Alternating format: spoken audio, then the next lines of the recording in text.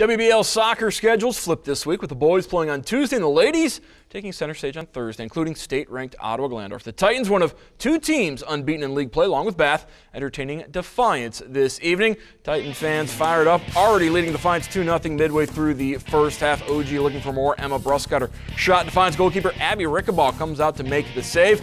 More from OG Danielle Schrader. Long shot about 25 yards out and finds the back of the net. 3-0 OG.